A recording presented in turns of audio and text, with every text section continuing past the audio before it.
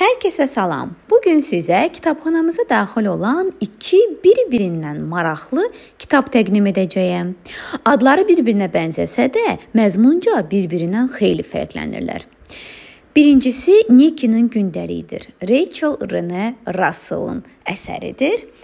Nikki çox da məşhur olmayan, lakin öz sinifində və məktəbində məşhur olmağa çalışan, eyni zamanda bala hazırlaşan, paltar, ayaqqabı və çanta dəlisi olan bir qızın həyatından alınmış hekayələrdir.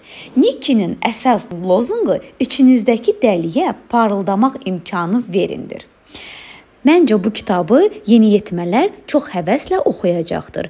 Hər nə qədər Nick onun gündəliyini oxumağı məsləhət görməsə də, biz onun içindəki dərin hisslərə gözucu baxacağıq.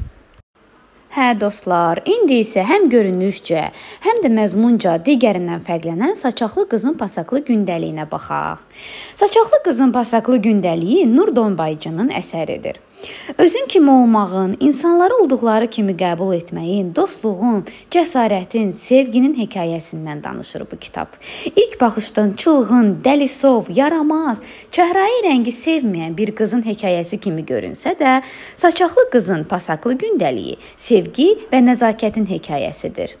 Hər nə qədər onun gündəliyinə baxmağımıza icazə verməsə də, biz bu kitabı çox həvəslə oxuyacaq və yeniyetmə bir qızın daxili aləminə səyahət edəcəyik.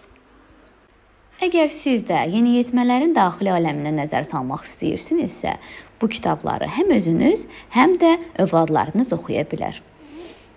Bəs siz hansı kitabın tərəfindəsiz? Şərh bölməsində qeyd etməyi unutmayın. Hələlik.